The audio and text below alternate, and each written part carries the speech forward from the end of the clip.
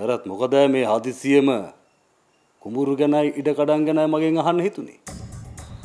ඒවා මගේ උමනාවක් නෙවෙයි අප්පච්චි.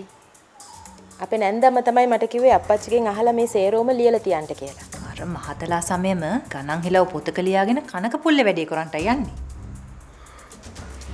ඔය ගණන් ඉලව් ගැන ගලේ බණ්ඩානිල මෙන් අහන්න ගියා නම් මට කනට ගහයි. උඹට කනට ගහන්න කවුරුත් මේවා ලව්වේ නෑ කපුරුවා. උඹ මගේ. චන්ඩි කුමාරිහාමි. හෙට සවස හයට